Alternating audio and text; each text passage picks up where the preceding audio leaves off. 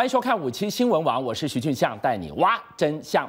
台股今天好冲啊，创下了二十七年来的新高，其中最冲的就是红海。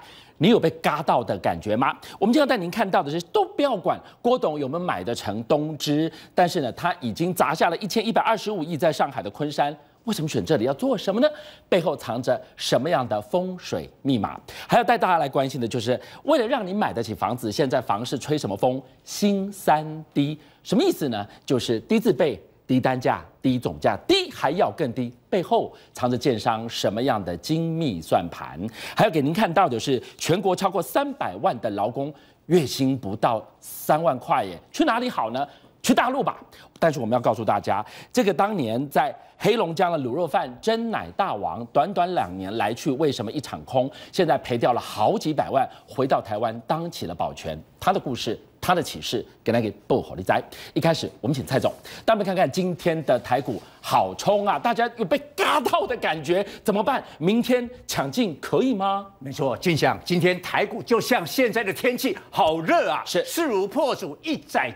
一涨再涨，今天大涨一百三十六点哦，但今天盘面呢，实际上不止，因为今天呢，台积电除息啊，对，第一指指数就蒸发了六十二点，是，按你涨一百三十六点，把它加回去哦，应该是涨两百点，实际上是涨两百点，涨上去。哦，一万零五百二十七年来的新高，是，今天还有一个特色，你看今天成交量晃出来了，对。你不是说上万点啊？大家讲说都没有量嘛。嗯，今天不仅有量，而且创下三个月来的最大一千两百多亿。对，在这个背后呢，我们把郭董把 Morris 的帅照端出来，就是要告诉大家，背后是两颗引擎在推，来给我都看进去。对，就是这两颗的引擎哦。台积电啊，对，今天是除息，是。那除息的时候呢，填息的幅度呢高达七成，是因为市场哈本来估计哈。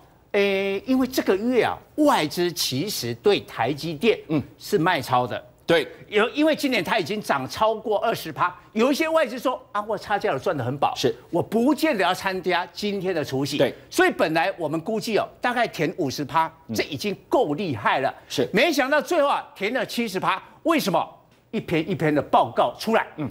下半年苹果 iPhone 八最大的受惠者就是 Morris 的台积电，是再过来在七纳米的首战赢三星哦，哎，这个立下一个是殊死战。我们讲到的七纳米，不就说他养了一批夜鹰部队，夜以继日，日以继夜的研发吗？现在超越死敌三星，好，所以外资把台积电的目标价呢又提高，是提高到两百四十六了。有人说一定要过两千年那时候，台积电创下它的天价。是两百二十二块，哎，现在两百一十五啊，很快啊，是马上要挑战史上的最高价了。蔡总，公稿界的收窄哦，忍不住你又要想起，都是不久前而已。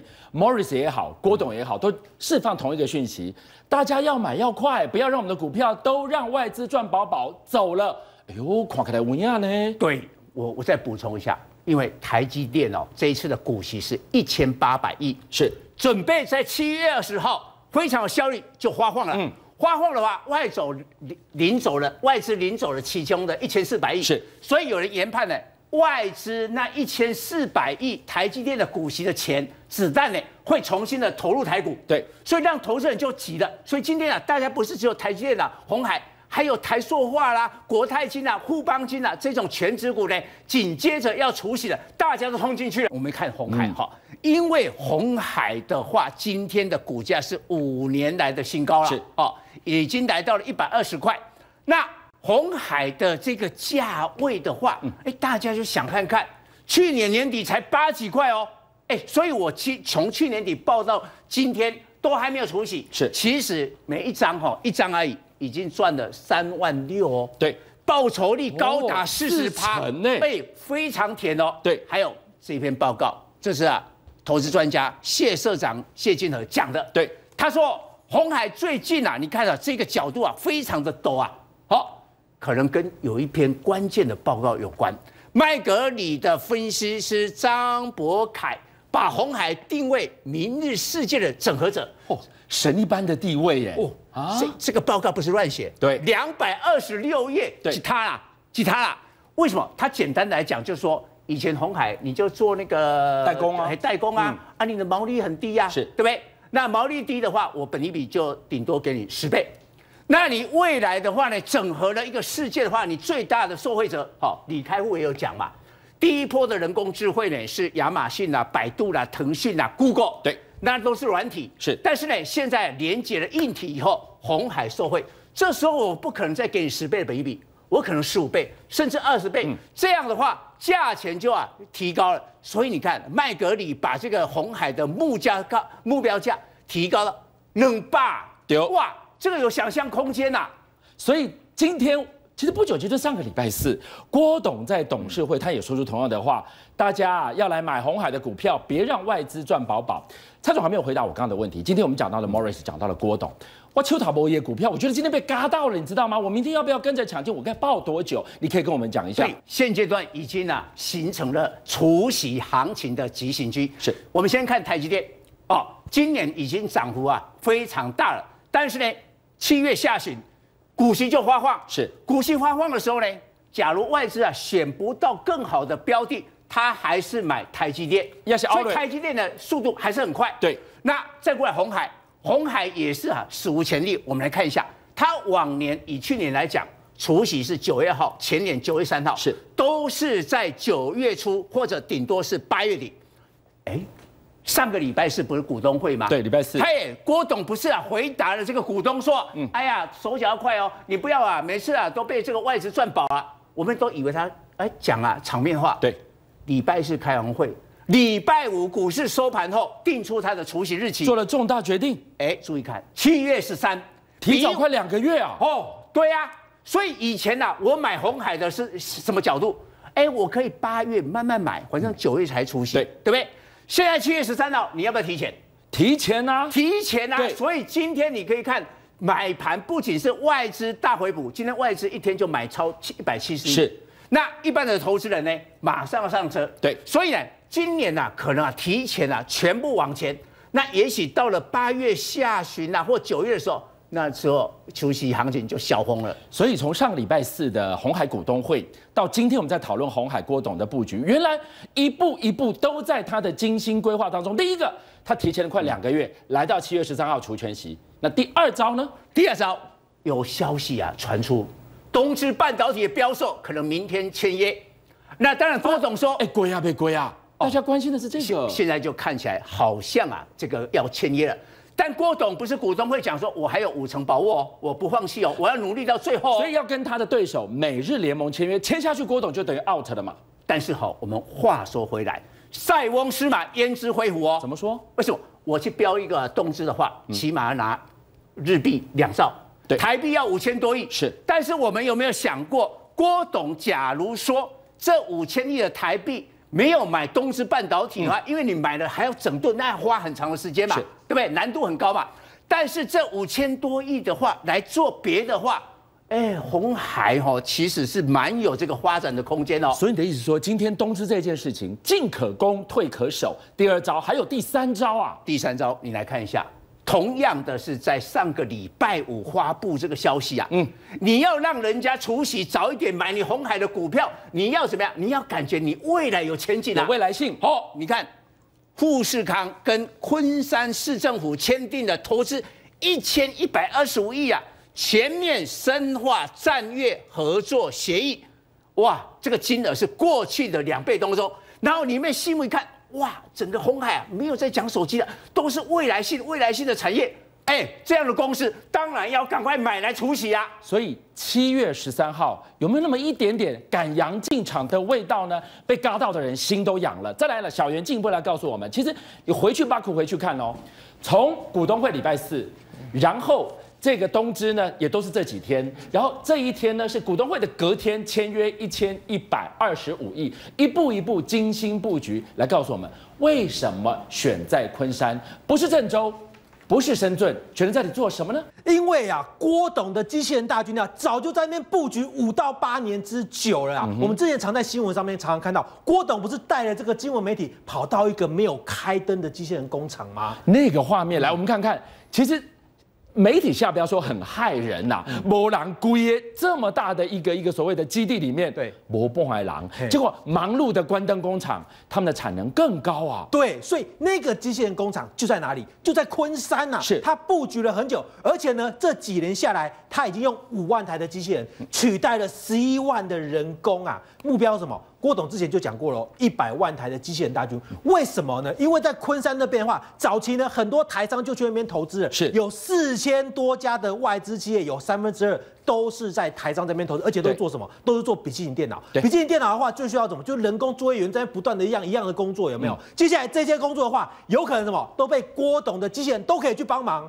而且郭董不是只有在那边做机器人哦，他做完机器人生产机器人，做完这些机器人怎么样？跑到他的这些郑州工厂啊、河南工厂啊，全部的分散出去。所以这个地方，你说他的机器人重不重要？它太重要了。它不但是富士康集团生产机器人大军的重镇。而且它是使用机器人大军最多的地方，就在这里。没错。那你说郭董的这个选在昆山，其实有一部分是机器人，但是你知道吗？最早最早在昆山设厂的话呢，其实不是在昆山，在哪里？在哪？其实郭董最早其实想要在武汉设厂，你知道吗？武汉，因为华武汉是华中的这个交通的枢纽的中心。没错。那可是呢，后来呢，他还是改变心意了。为什么？因为风水师的一句话。你是说？昆山的风水比武汉好。哎，其实呢，当初他的风水师啊，迟迟呢带着个郭董一起去选地。你知道郭董那时候个性很急啊，你知道全中国大陆呢，他就带着风水师去找这个设厂的一个地。可是呢，风水师呢怎么选呢？他都不敢给他选下去，说就这里，你知道，因为他觉得哪边不对，哪边就是不对。那郭董很急啊，郭董想说，哎，你再不选，我怎么去生产东西呢？郭董就说，有一次他真的生气了，他软硬兼施，你知道，生气他说，你以为啊，你这风水师，我找你来中国。不用花钱的啊！你知不知道来回一趟机票钱是要花多少钱呐？哦，那风水师吓死，很想要啊，随便选一个地方就给他选的。可是呢，可是他就想说这个罗盘拿来不会转啊，我的堪舆我找不到。对他不敢选，你知道吗？那郭董再用另外一招，他说啊了，不要这样，不要这样，你这样子，你赶快选一选哦，我们马上给你包一个大红包，我们就赶快盖场好不好？因为郭董很急啊。结果可是呢，这风水师还是不敢选，就这个样子，全中国大陆跑了多少？跑了两年多。最后面呢，才跑到了昆山，他觉得这个地方可以选，因为呢，这个反风也是说，哎，这个地方左青龙右白虎，这个河流的这个方向呢，都跟你这个郭董的这个气场啊很合啊，就这样一选下去不得了了。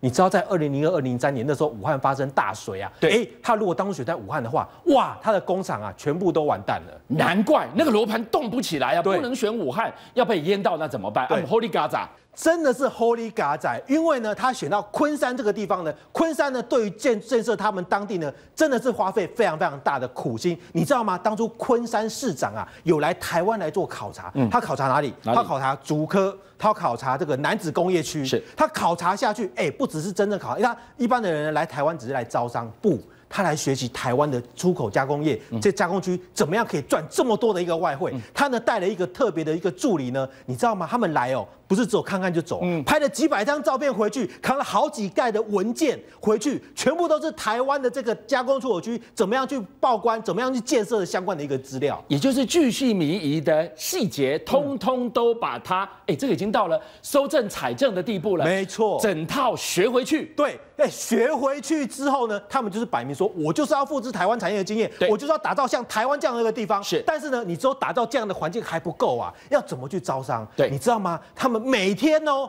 派一组人跑到上海的虹桥机场干什么？给你守株待兔啊！等谁？等这些台商或是一些国际的这些这些大老板们呢？如果有转机的机会呢，他们就马上去送宣传单，然后呢，积极的要求你，你可以来我们这边做参访，我们可以看提相关的优惠的条件，你就来我们这边投资就对了啦。看那个仓单，谁会在这里转机？谁会在这里入境？我先流刺网一样大小通吃，开始撒网拉人留下来。哦，很黏呢。对，还有很多很多的租税优惠，不断给你甜头。所以呢，也让郭董这些人哇看得心痒痒，不来投资一下怎么行呢？哎，就这样子落脚了。当然不止郭董，我们看一下神达、人保、伟创、伦飞、蓝天，全部这些笔记型大脑都在这边设厂了。好，这个是此一时彼一时，一九九五年到两千年左右，把这一些。一等一的 dot com 大厂，通通吸纳过去了。不过蔡总要告诉我们，我们把时空咻拉回此刻，郭董要在这个地方建立他的所谓的机器人大军兵团，背后居然藏着，哎呦，昆山市政府变了。那个想法开始要腾笼换鸟了。来说说看，对，哦，红海富士康集团在大陆有三十六个据点，深圳的话呢，就是 iPhone 啊研发跟生产的基地，跟部分的灰屏在深圳。那郑州厂的话呢，就是 iPhone 生产的新的基地。对，那至于昆山未来会成为人工智慧的大脑，是把三十几个据点啊串联在一块。那这个昆山呢、成为台商实验的一个对象。嗯，我们来看一下富士康还有红海扮演啊中国大陆经济产业的一个先行指标。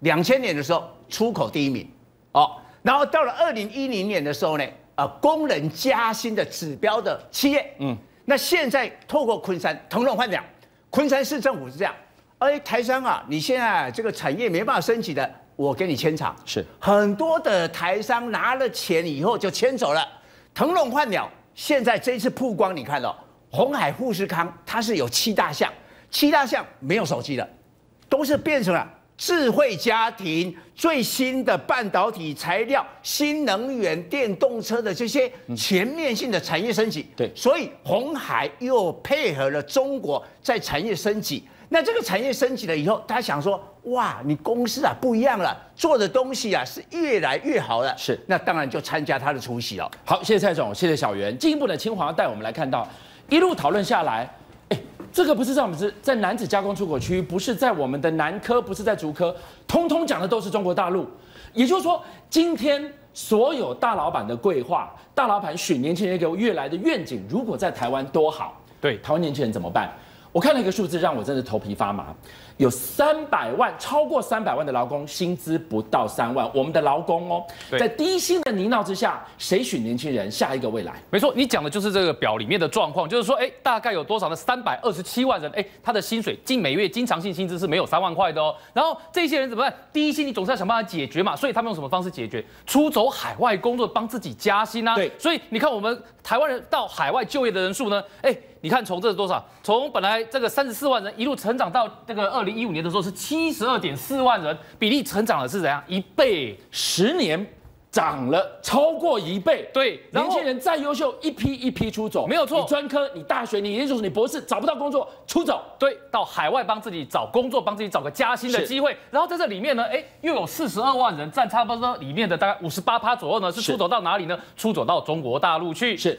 那你现在看，在人力银行现在调查哈，这些社会新鲜人，他们最新的意愿也是一样哦。对百分之六十三的人怎么样呢？他也希望到海外去工作啊，因为他们认知海外的工作平均薪资有五十一 k，比他们现在的在台湾的平均二十八 k，哎，多出八成啊。所以各位，当我们看到了这个圈圈，你说干么样？没有满三万的有这么多人，三百二十七万人，而且这些人里面年纪。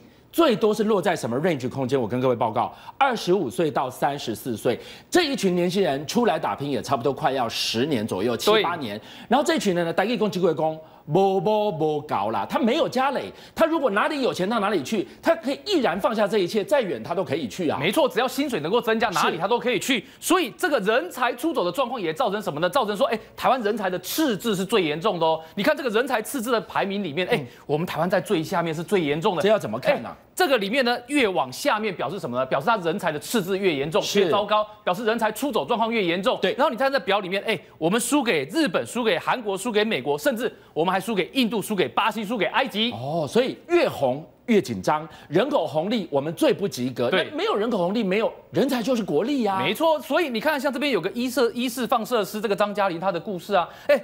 他今年怎么样呢？他本来想说，哎，一个月四万块的薪水，对不对？如果我要再加薪的话，要怎么样呢？再去那个硕士好啦。是哎，想说要再去那个硕士，在这个时候呢，发生了一件事情，哎，新加坡的猎人头公司来接触他，说，哎，新加坡啊，现在需要找这样放射师这样的人啊。对那然后一个月薪水多少，你知道吗？多少？八到十万块啊。当下就乘以二点五啊。对，所以当他去跟他的这个哎要考硕士的这个教授去聊天的时候呢，教授听到说人家要挖角他，给他八到十万薪水，教授说啊，那你不要来念书，你不要来念书了，你去那个工作好了。他说。教授都这么说、对啊，，因为教授跟他说，你就算在台湾，你去当个放射师的主任，你的薪水可能也是十万块而已。对那与其这样子，你打不如去那一边好了，那边这个薪薪水更好，然后环境也更好。连老师都这么说，那肯定去了哟。对他当然，他对他来说那是一个很好的选择嘛。所以你看，就是在这样的大环境的情况之下，你说这一些新鲜人来说，他怎么可能会不想到海外去工作呢？所以你看，新鲜人刚刚我们不是说吗？有六成三想要到海外工作。那你知道在他们心中的首选是哪里吗？哪里？第一名就是中国大陆。那当然了，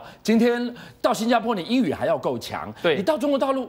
就直接讲中文都会通啊！对，所以我们来看看这几个故事哦。你看这个也是一个怎么样呢？哎，在一台湾的一个年轻人，然后呢到中国大陆创业成功的故事。那么这个是什么呢？这是现在中国流行的美发快时尚，也就是我们台湾的快剪，很快的剪完头发。那他创了一个品牌叫新克多，他把它带到中国大陆去，而且还拿到了三千万人民币的怎么样资金要挹注他。这个东西哦，特别要跟大家先来讲一下这个孩子的轮廓，他好厉害，他很年轻。然后我看到他的资料，他连大学都没有毕业。对，那到底是怎么一回事？你讲的就是这一位，哎，这叫他叫做庄威哦。你看看起来很年轻嘛。那这个庄威，他的爸爸是做什么？其实他的爸爸也是一个很知名的百元快剪的那个合伙人，然后本身呢也在办了一个美发学校，在培训什么呢？培训这些美发师，所以他家境其实是还不错的。那么这个庄威啊，他爸爸在他十二岁就把他送到加拿大去念书，是到他十九岁的时候再送到北京去念人民大学，哎。就是在人民大学念书的时候呢，他发现什么事情？在那个地方好像有好多的商机啊！在那边我不创业，只花在这边念书，好可惜啊！屁股会痒，那个行李啊，干那个 DNA 就在血液里窜动，没错，不安分了，对，想动了，他就跟他的表哥怎么样呢？两个人呐，把自己的钱凑一凑，合伙起来，对，凑了多少钱呢？他跟他表哥凑了一百万左右呢，哎，做手机周边产品的生意，是做手机产品周边产品的生意呢，还进一步还做个产业升级，干嘛呢？去做美图手机的周边产品，对，结果呢，哎。这个发现这个生意好难做啊？为什么好难做呢？竞争者很多，大家就是一片红海在杀价啊。没错。那这个环境下怎么可能继续赚钱呢？所以呢，啊，赶快就是怎么样赚一点点钱，赶快获利了结，赶快把它收起来，不要做。这是他第一次创业，结果失败了。但是这次创业有一个好处，什么呢？让他认识了很多设计师的好朋友啊。那他就再把大家凑在一起，哎。准备他的第二次创业要干嘛？承接人家那种怎么样做演唱会的这个生意呀？我帮人家办场地呀，做各种场布的设计呀。他想说，哎，我有这么多的设计师好朋友帮我，我应该有机会成功了吧？结果没想到，哎，这生意更难做。为什么更难做？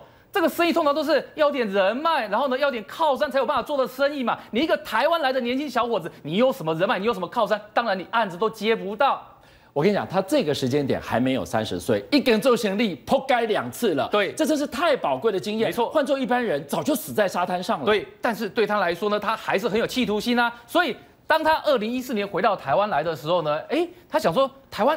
这个百元快剪其实很特别啊，他说这个东西他在中国大陆好像没有看到啊。那他说这个模式呢，搞不好怎么样呢？我可以学习，它里面有商机可以赚。嗯，所以呢，要是看要怎么办？他要当然要先去学习嘛。怎么学习？一直跑到人家百元快剪的商店里面去给人家剪头发，结果剪一次不够，哎，观察观察不够，再去剪第二次，再去剪第三家，再去第三家，再剪第三次。去过几家剪好几次之后呢，你头上剩没几根毛，你还跟人家说你要剪头发，谁要让你剪啊？是，所以。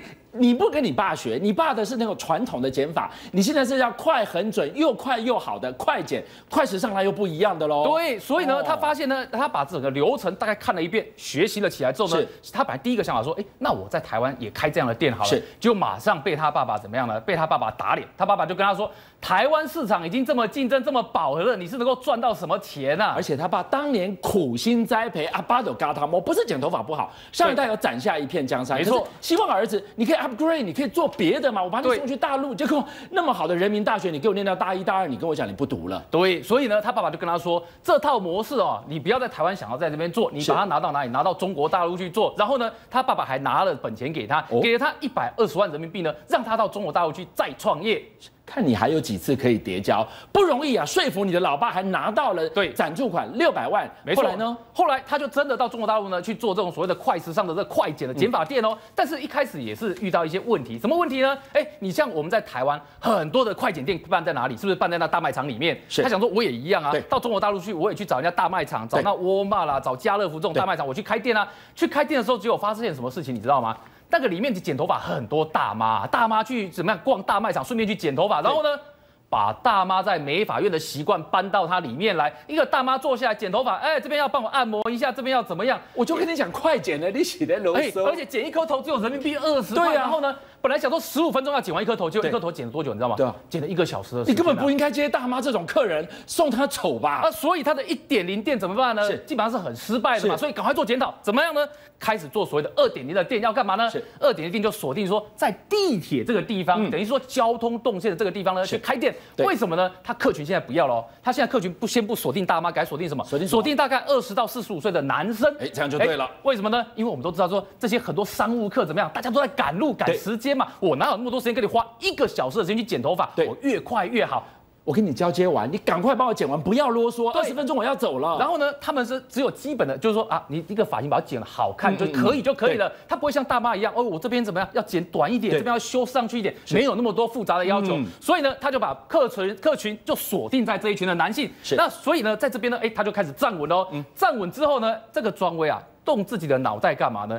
改进这个店，然后想说我要想办法再第一次、再一次的三点零的升级。怎么三点零的升级呢？我开始导进所谓的第一个，我用套餐，就什么套餐呢？哎，有的头发是什么？你看，这叫轻松舒适型，是还有什么发型呢？叫起床就走型，还有什么回家过年型？有三型，越剪越有型，你要哪一型？对，没错，他让客人很快的做选择，你要哪一种发型，选定了他就帮你剪，没有那么多啰嗦啊，这边要长一点，那边短一点，前面要不要理都没有。对好，快速的选完之后呢，要怎么样加快它的流程嘛是？所以它可以怎么样呢？因为它主主打什么呢？它不帮你吹头发，也不帮你洗头发，也不烫不染，它就是剪头发而已。对那只要剪头发而已，怎么样呢？所以你客人坐下来哦，剪完之后呢，当你起来了怎么样呢？他就很快速的把那个上面的头发拨完，用吸尘器吸完，在一分钟之内搞定。翻桌率之高的，对，哦翻桌率非常快。然后呢，你想想看，如果这个设计师还要负责收款的话，一定会拖他的流程嘛。是所以他设计什么呢？让你直接用手机可以付款，你用 QR code 用扫这个条码呢，直接付钱。特别是什么呢？你看到这数字是干嘛？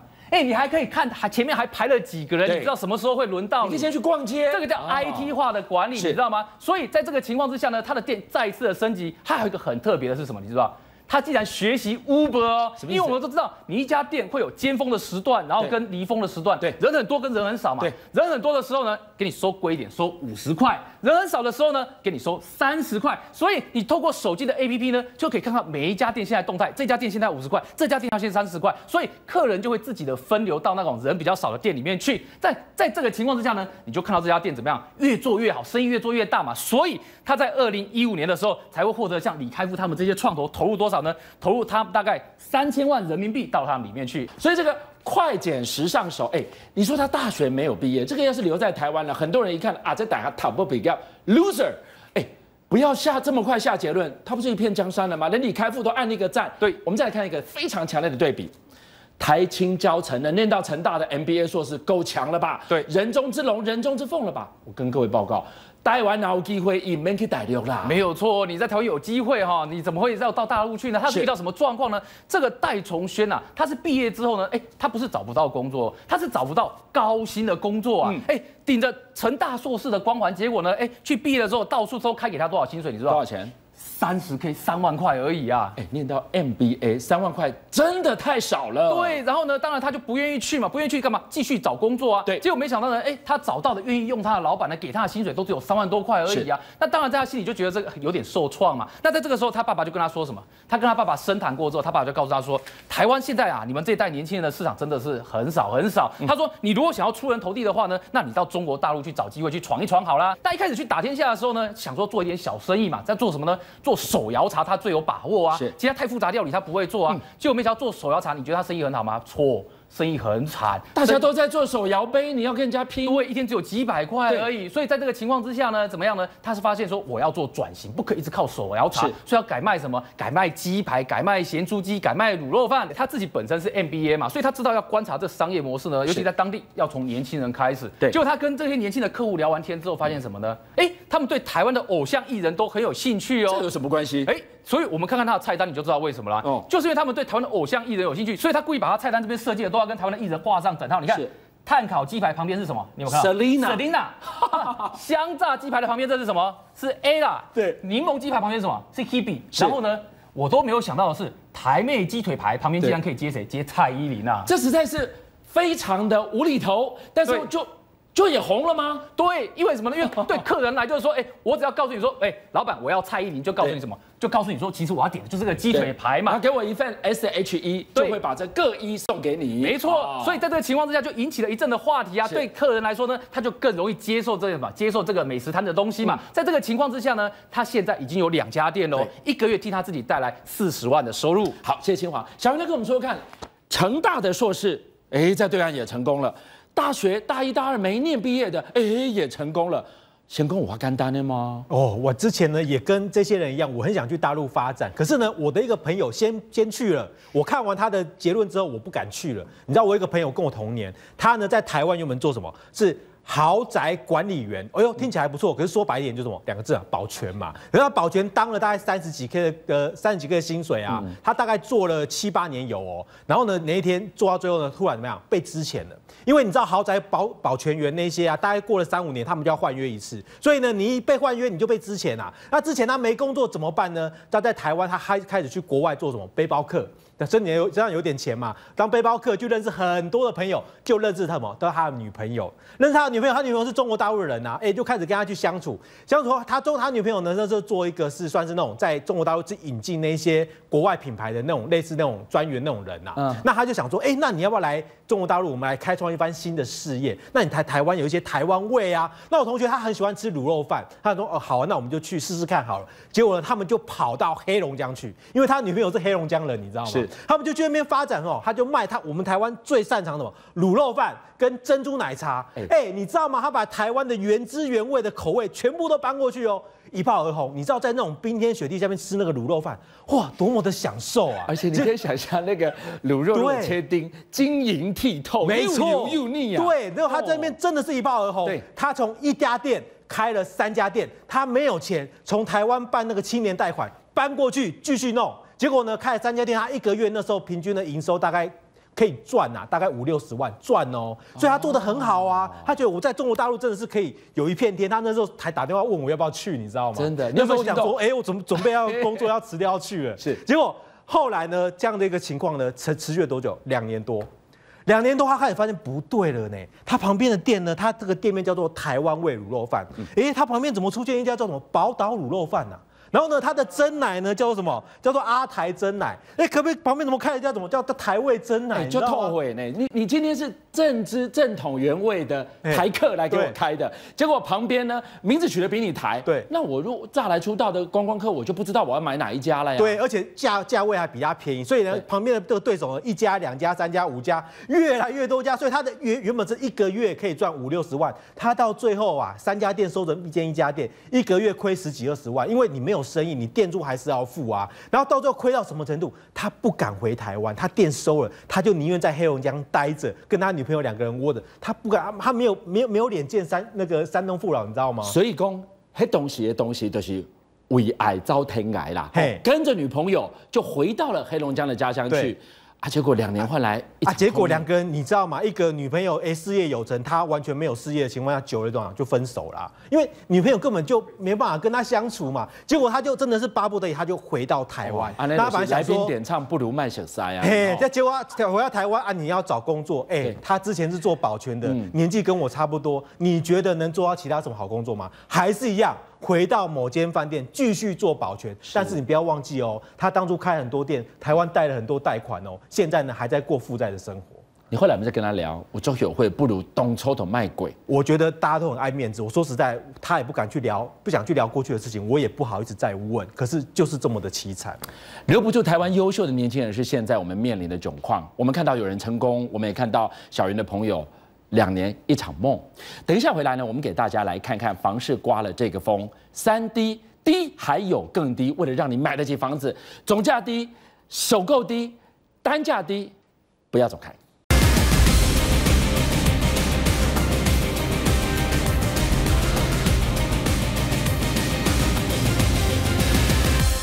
回到节目现场，我们来看看今天这个房市刮什么风。艳丽，房市呢有一个关键字叫新三 D，那我就好奇了，那原来旧三 D 是什么？那新三 D 又是什么呢？没错，这个三 D 呢不是指电影特效哦，三 D 是指的大台北的房市呢也吹出了三 D 风，而且重点是呢，最近这一股。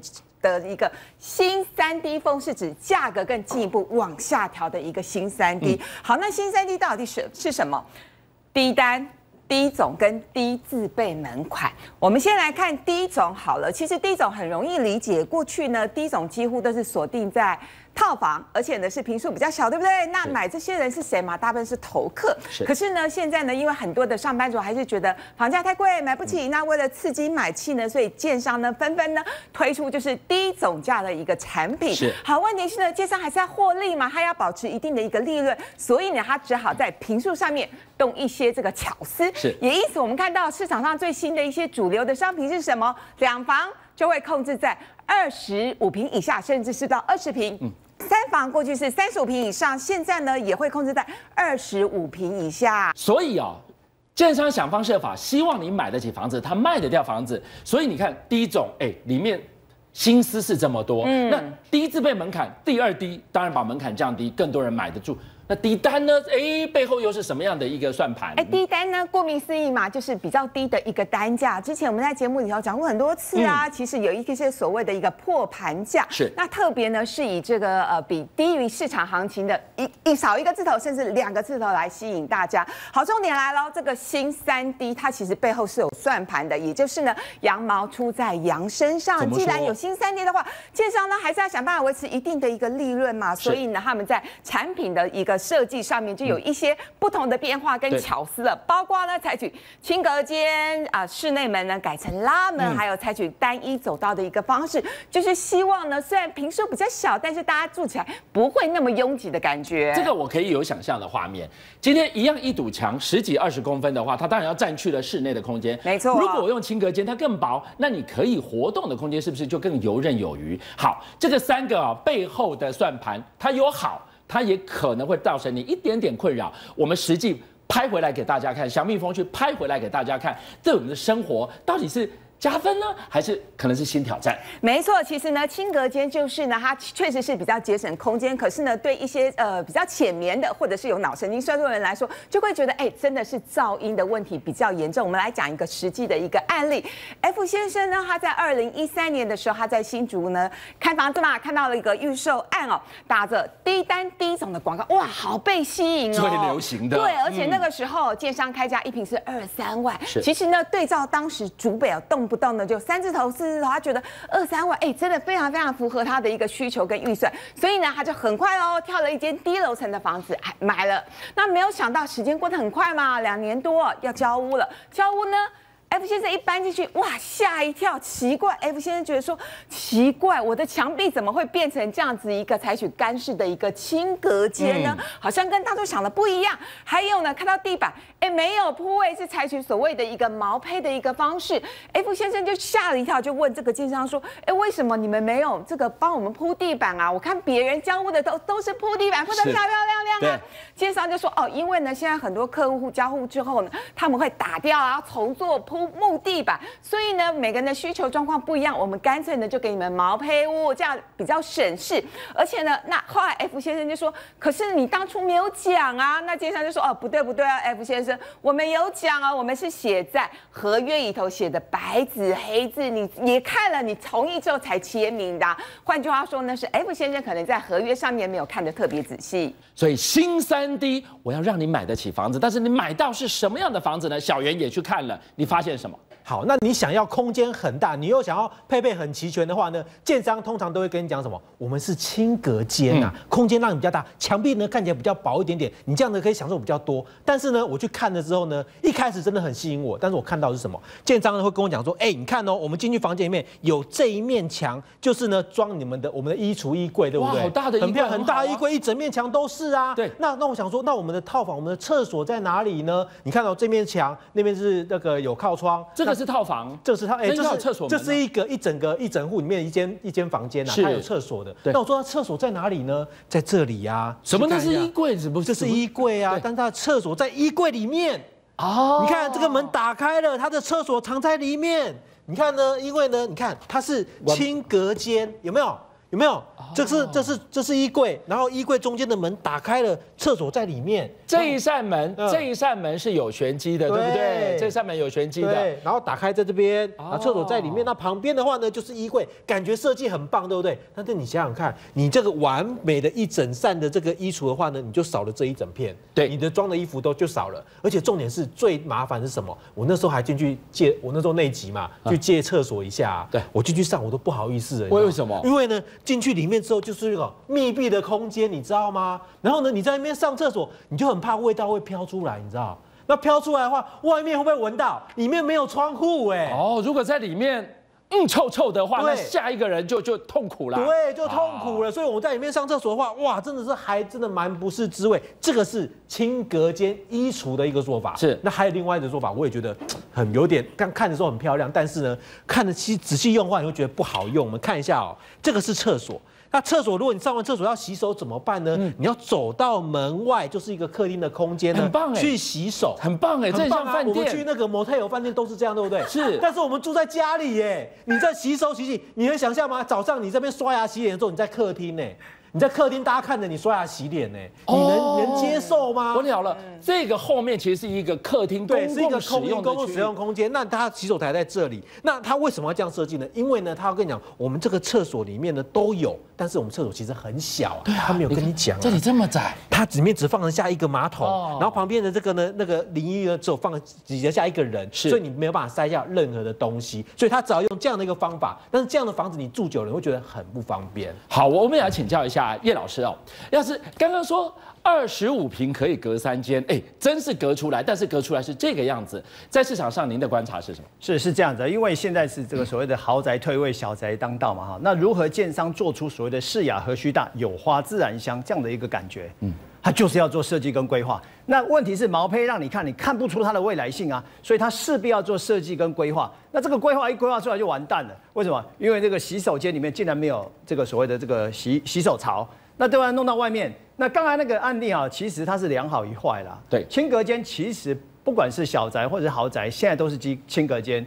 呃，不管是安全也好，防火也好，或地震也好，或重量也好，都是一样。隐藏门，事实上这是个非常神的设计。好，隐藏门牺牲很多空间嘛。小袁再给我们看一次，对叶老师就在讲你那扇门，对对对太厉害了。，省很多空间嘛。那甚至呢，你看到这个门的左手边，其实以我的经验来看，我觉得那根本就是一根柱子。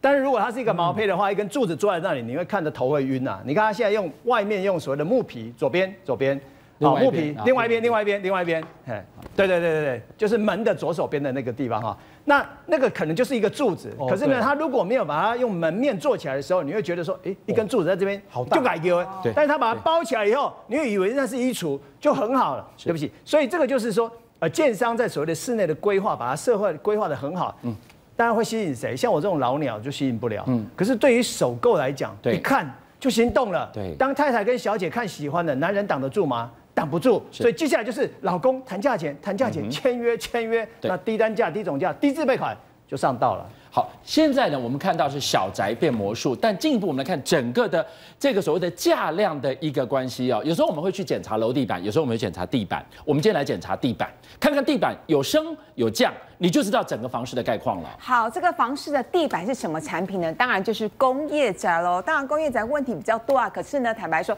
它的总价呢是低于市场的一个行情，所以买的人也不少。可是呢，大家很好奇啊，工业宅最新的一个市况如何？哇！最新的一个这个交易的热门交易社区，这三年哦，根据实价登录的一个情况，这三年都走跌的一个情况，而且呢，最重的跌幅是高达十一趴。在三美美港明明有量哦，有量不是说有很多呃屋主他就撑在那个地方，有量尚且要跌十一趴，那地板跌了，整个是不是也要往下挪移？对，没。错，所以我们事实上也帮大家举了几个实际的例子跟社区哦，像第一个社区呢，第一个建案叉叉叉端，它的屋龄其实很新，只有两年哦，它的平均行情呢是一平三十八万，跟前一年比较起来，哎，修正也是超过一成的一个情况。另外一个建案呢，南叉叉啊，它屋龄比较久一点哦，是九年，那户数也比较多，一千五百多户，那平均的一个行情是每一平是三十三万，跟前一年比较起来也是跌了七趴。那另外一个社区呢，四叉叉约哦，它的今年的一个单价呢是落在三十九万啊，跟前一年比较起来跌的比较没那么多，但是也修正了两趴。是，我知道你的用心了。今天去检查工业宅，如果它微微下降，十一趴的话，那就来看看那些屋主，你是先知先觉、后知后觉，还是不知不觉啊？对，没错。当然，另外一个值得关注的一个地方就是林口。为什么？因为其实呢，桃园季节通车已经是三个月了嘛，对不对？那大家很好奇，说它的房价到底有没有春呢？事实上，也是根据这个实价登录的一个价格显示，哇，真的是出乎大家的一个意料。它的一个平均的一个单价跟去年同期相比，一平呢是跌了四点四万，来到三十点九万，跌幅呢也是将近一成以以上的一个这样的一个状况。虽然呢是力守三字头，可是大家很担心它接下来会不会呈现继续下跌的一个趋势。通车才是跌价的开始，而且这是 A 九站周边核心最厉害的地方。对，没错。那当然，我们也请教了当地的一个房中业者，房中业者就分析啦，有几个原因。第一个原因是因为呢，哎，机铁通车啦，所以很多投客呢，他就让价，让多少？平均是让五到十趴，是确实是有刺刺激一些买气。那另外一个原因是因为部分的建商呢，也是呢，哎，一平便宜个两三万，那很多自住客就进来啦。对还有呢，十年屋也回档了，所以呢，让这个区域的一个价格呈现这样的一个趋势。当然，大家记忆犹新的话，二零一三年房市多头的时候呢，A 九真的炒得非常非常夸张，预售屋还开到五字头，甚至那时候是抢红单抢的非常的夸张。附近的中古大楼呢，一平三十五到四十万，可是对随着房价呢这个反转，其实现在已经跌破了三字头、哦。好，叶老师来跟我们说说看哦，曾经也看上五字头哦哈。那现在如果来这一边林口看房子，从 A 九那辐射同心圆一路开来的话，那个房价单平的平数呃价码，我们要怎么看才是行情内？我们看一下哈，这个就在 A 九旁边，你看啊，这个密密麻麻全部都是 A 九旁边的房子在卖，有这么多，嗯，所以你现在卖房子，你面临什么挑战？不是只有几间房子，少数房子在那边卖，所以有这么多的房子在那边卖的时候，我们如果在 A 九的周边，我们用三百公尺、五百公尺跟七百公尺来看的话，三百公尺呢，我觉得它是力守三十万以上了。对，三字头三字头以上了。那如果到了这个所谓的七百公尺呢，它当然希望能够扛在二字头以上啊，扛在的。那过了七百到九百以后，那都是一字头的。哎，七百公尺的话，我如果要去捷运搭个走路八分钟，七分钟以内可以对，到，十分钟以内可以到。所以在这样子的一个范围里面，各位到这个林口去看的话，你可以看到从 A 九站往外延伸，你越走越远，房子越来越多，越来越多。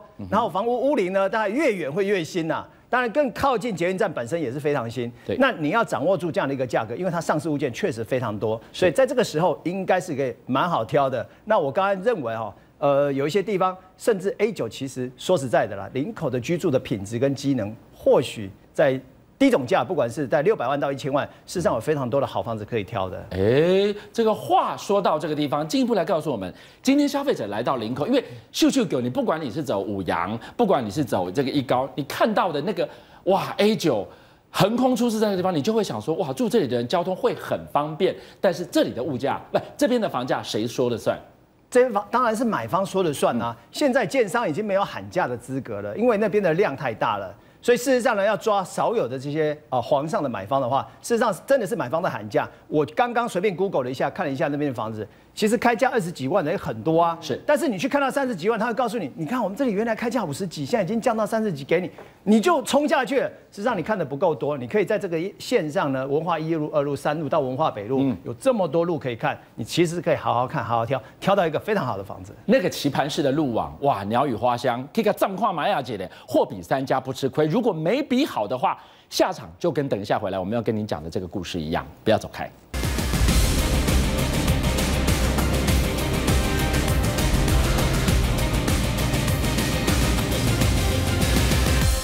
非常大的 range，二零一三年林口开到五字头，嗯，现在呢力保三字头也被比北串，哇！我早年进去的，我现在不就很紧张啊？没错，不只是紧张，而且林口投客真的很多、哦。投客想要卖房子，就要想办法告诉别人说：“我不是投客，我不是投客”，免得房子卖不掉嘛。比如说呢，最近有个网友，他在网络上把他想要卖的这个物件贴在网络上，哇，引起大家热烈的讨论。我们先来看那物件的一个状况：屋龄三年，哎，平数好大、啊，一百四十三平哦。好啦，他就特别在网络上提到说：“啊，这个物件是房是长辈哦过给我的啦。那因为呢，其实呃长辈过给我就，家里出现了一个状况，不得不处理。那当初是贷了三千八百万，本息一个月高达十九万哦。